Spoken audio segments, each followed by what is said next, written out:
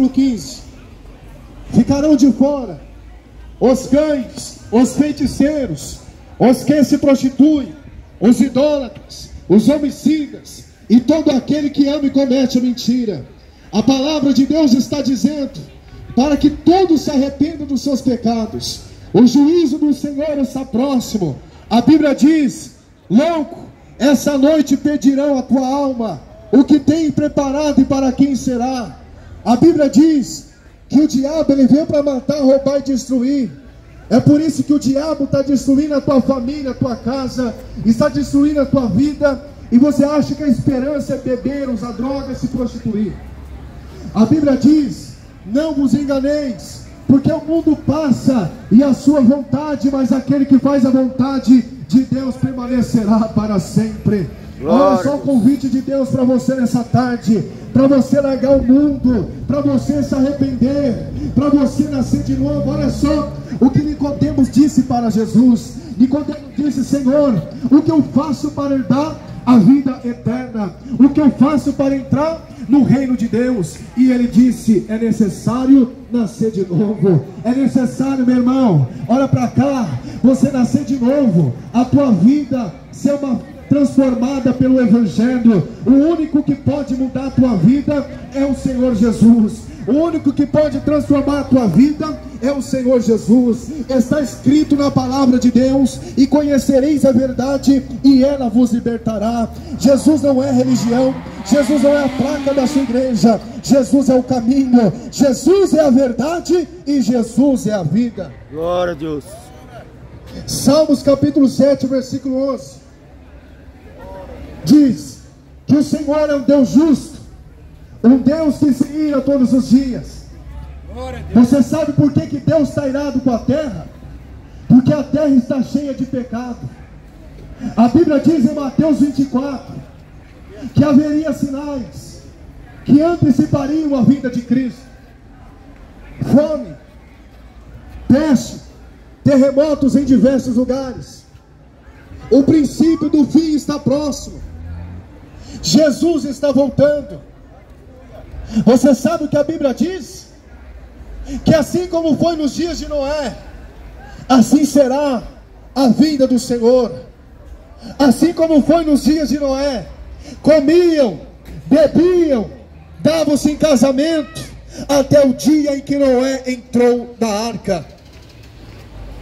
O mundo está vivendo esses dias, desapercebidos, enganado por prazeres mentirosos. E para onde vai a sua alma após a morte?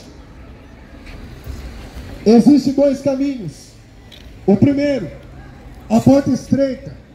O segundo, a porta larga. Para onde irá a tua alma? A Bíblia diz o que o homem semear, isso também se fará. Se você plantar o pecado, a Bíblia diz que o salário do pecado é a morte. Mas se você plantar a justiça de Deus, eis que a salvação chegou na tua vida. O convite de Deus é para você deixar a idolatria, deixar as imagens de escultura, se arrepender dos seus pecados. Salmos capítulo 15, 115. Tem boca, mas não fala. Olhos tem, mas não vê. Ouvidos tem, mas não ouve. Nariz tem, mas não cheira. Nem som algum sai da sua garganta. De Israel, adorou um bezerro de ouro. E a Bíblia diz que eles sofreram a ira de Deus. Você sabe que o diabo está preparando para o mundo? Uma cilada. O diabo está enganando a tua alma. O diabo está colocando um prazer mentiroso. O diabo está enganando a tua vida. A Bíblia diz que o mundo passa, mas quem faz a vontade de Deus permanecerá para sempre. Glória a Deus. Você está achando que você vai viver para sempre? Um dia nós vamos morrer, e depois da morte, segue-se o juízo de Deus. Hebreus 9, 27. Porquanto está escrito, é a Bíblia que está dizendo, não é eu não. Quem crê na palavra de Deus será salvo, quem não crê já está condenado. E a condenação é esta: que amaram mais as trevas do que a luz. Hoje você tem tempo para ir para o baile funk, tem tempo para beber, tem tempo para fazer o pecado, mas não tem tempo para ouvir a palavra de Deus. Aí você acha que naquele dia você vai ser salvo? A salvação é para quem ama Jesus, é para quem obedece a palavra. A Bíblia diz que existe dois tipos de pessoa: o obediente e o desobediente. Diz a Bíblia que o inferno foi criado para os desobedientes, porque aqueles que não obedecem a palavra estão trazendo o seu próprio futuro. Mas aqueles que negaram a sua vida, aqueles que aceitarem a Cristo como Salvador da sua alma, e negarem a sua vida e terem uma vida diferente, uma vida de santidade diante de Deus, diz a Bíblia que você vai entrar no reino de Deus, não haverá mais morte, não haverá mais pranto, não haverá mais dor, eis que tudo ele fez novo. Você sabe por que, que a maioria é enganado? Porque a maioria não lê a Bíblia. A maioria não lê a Bíblia. E é por isso que o diabo está te enganando. Nós não viemos aqui pelo seu dinheiro. Nós não viemos aqui porque você pode, não. Eu vim aqui para a tua alma. Jesus quer salvar a tua alma, rapaz. Deixa o pecado, deixa a vontade do mundo. Deixa o tráfico, deixa as drogas. Deixa a prostituição, a mentira. O mundo é mentiroso. Segundo a Bíblia Sagrada vai dizer que aqueles que morrerem com Cristo ressuscitarão para a vida eterna. Mas aqueles que morrerem sem Cristo, aqueles que morrerem sem obediência, ressuscitará para vergonha e desprezo eterno. Ei, para onde vai a tua alma? Para onde vai a sua alma? Está ordenado o homem morrer uma vez, depois disso segue-se o juízo de Deus. Depois que morre, não vai dar mais tempo de buscar a Deus.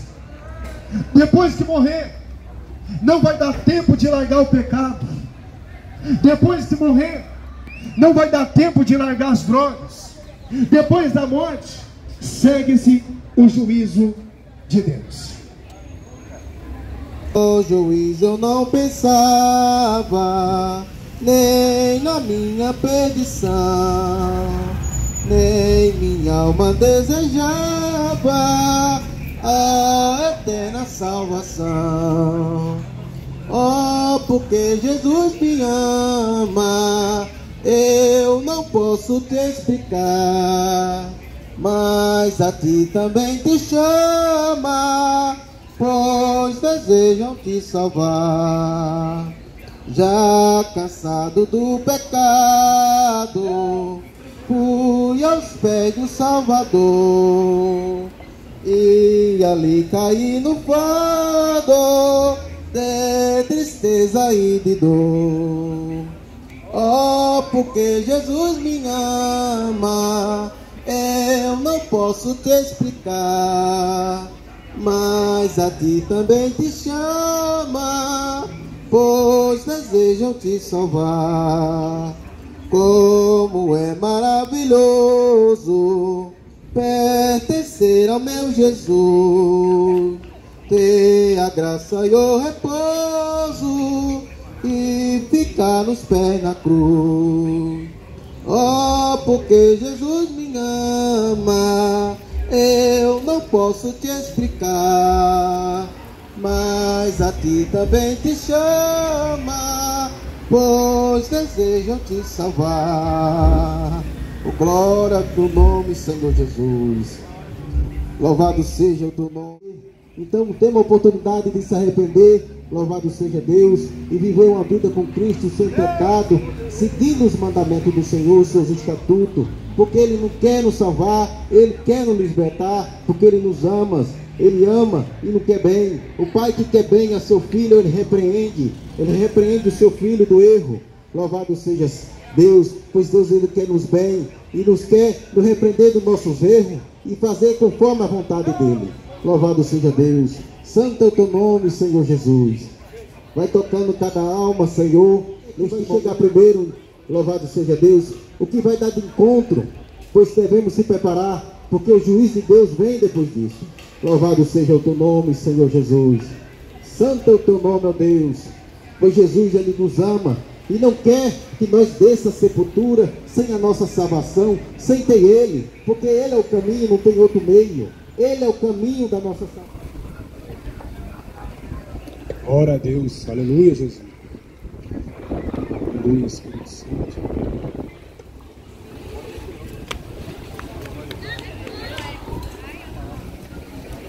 Glória a Deus. Deixar a palavra de esperança pela sua alma. Palavra de vida eterna. Né? A Bíblia diz em 2 Coríntios 5, versículo 10: Todos devemos comparecer ante o tribunal de Cristo, e cada um vai dar conta segundo o que foi feito por meio do corpo. A Bíblia também vai falar para dizer, dizer a gente, para a gente não amar o mundo, nem as coisas deste mundo, porque tudo é passageiro, tudo há de passar. Um dia você vai encontrar com a eternidade, e para onde vai a sua alma? A Bíblia diz: loucos, essa noite pedirão a sua alma, e o que tem preparado para quem será? Abrir Filipenses 2, né? Filipenses 2, 10. Que, é, que todo joelho se dobrará diante do Senhor e toda a língua confessará que só o Senhor é o Jesus Cristo para a honra e glória de Deus Pai. É tempo de se arrepender, arrependimento. Jesus está voltando. É tempo de buscar o Senhor enquanto é tempo. A Bíblia diz: buscar o Senhor enquanto se pode achar, e invocar enquanto está perto. É tempo de se arrepender, meus irmãos. É tempo de buscar Jesus. Só Jesus pode salvar a tua alma da condenação do inferno. Só Jesus pode te livrar, te curar, te libertar, transformar a sua vida. A Bíblia vai falar também que existem dois caminhos, ou céu ou inferno, né? Onde o bicho não morre, onde o fogo não apaga, né? E o céu é um lugar de eternidade, é um lugar para o descanso da nossa alma, é um lugar de paz, é onde o Senhor Jesus Cristo quer levar nós, a, nós, a nossa alma. Então é tempo nós de se arrepender, buscar o Senhor, buscar o Senhor enquanto se pode achar, meus irmãos. Não vale a pena esse mundo. Um dia eu estava no mundo fazendo as coisas erradas, estava bebendo, estava fumando, me prostituindo, até que um dia Deus me libertou, me tirou do escravo, né, da, da servidão desse mundo, da escravidão desse mundo, para estar um dia aqui fazendo a obra de Deus, estar aqui na presença do Senhor Jesus Cristo. E só Jesus pode salvar a sua alma, só Jesus pode te libertar. Arrependa-se quanto é tempo. Jesus está voltando. É tempo de arrependimento, tempo de se consertar, consertar tua vida, colocar sua vida diante de Deus. Só Jesus pode salvar a sua alma do lago de fogo. A Bíblia vai falar, né, em Hebreus 9, versículo 27, né, que, que o homem está ordenado a morrer uma vez. Depois disso, segue-se o juízo. Depois disso, vem o juízo de Deus. Né, e para onde vai a sua alma? Para onde você está indo? Né, para onde você está levando a sua alma? É tempo de arrependimento, de consertar a sua vida. Glória a Deus. Pregando o evangelho na praça, nas ruas. E esse é o trabalho da igreja. Ide por todo mundo pregar o evangelho a toda criatura. Mostra para eles aí onde a gente está. pra me salvar. Na cruz morreu por meus pecados, mas ressurgiu e vivo com o Pai está porque ele vive. Posso crer no amanhã, porque ele vive. Temor não há, mas eu bem sei, eu sei que a minha vida estás nas mãos do meu Jesus que vive está. Glória a Deus, enquanto enfim chegar a hora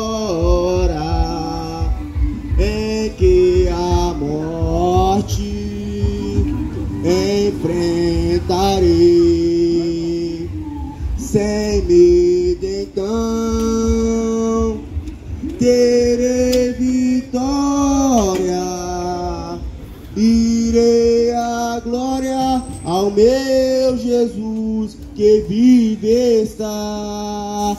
Glória a Jesus porque ele vive. Posso crer no amanhã porque ele vive. Temor não há mas eu bem sei eu sei que a minha vida estás nas mãos do meu Jesus que vive está. Glória a Jesus.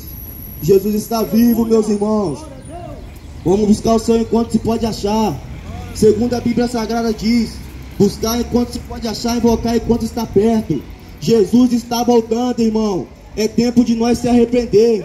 A Bíblia vai dizer que todo aquele que invocar o teu nome será salvo. A Bíblia nos garante, meus irmãos, que eis que a mão do Senhor não está encolhido para que não possa salvar, e nem os seus ouvidos agravados para que não possa ouvir. Mas os nossos pecados fazem divisão entre vós e o vosso Deus. Então é necessário, é necessário nós se arrependermos, é necessário largar as práticas do mundo. Segundo a Bíblia Sagrada diz que aquele que ama o mundo, o amor do Pai não está nele. E quem faz a vontade do mundo passa, mas quem faz a vontade de Deus permanece para sempre. A Bíblia nos garante dizendo que como nós vamos escapar se negligenciar Jesus? Como nós vamos escapar se não atentar para uma tão grande salvação? Jesus nos preparou uma morada, meus irmãos, e essa morada não é aqui, aqui vai passar. O mundo é passageiro, os prazeres tudo passa, meus irmãos. Os prazeres da droga, os prazeres da comida, até da comida passa. Aleluia. Glória a Jesus. Mas eu estou aqui para anunciar a verdade. Fala para você. Conhecereis a verdade, e a verdade vos libertará. Vamos buscar enquanto é tempo, meus irmãos. Vamos buscar enquanto é tempo. Jesus está voltando, o tempo é breve. A Bíblia nos garante dizendo que Jesus virá nas nuvens com grande glória, com poder e grande glória, para marchar contra os ímpios, para marchar contra aqueles que não se arrependeram dos seus maus caminhos. Ei, você pode estar olhando para mim e falar assim. Até minha avó falava isso comigo, que Jesus está voltando. Mas eu queira você ou não, isso vai acontecer. A Bíblia diz que pegará muito de surpresa. Aonde vai pegar pessoa no barzinho bebendo, fumando. Aonde vai pegar pessoas namorando fora do casamento. Ei, eu quero dizer para você, se arrependa enquanto é tempo. Eu quero dizer para você, larga as práticas do mundo, larga as práticas do erro, as práticas do pecado. Jesus ele é misericordioso. A Bíblia nos garante dizendo que a misericórdia do Senhor se renova a cada manhã do céu, porque Jesus nos preparou, Ele garante nos dizendo que eis vos preparou uma morada, e essa morada não é aqui.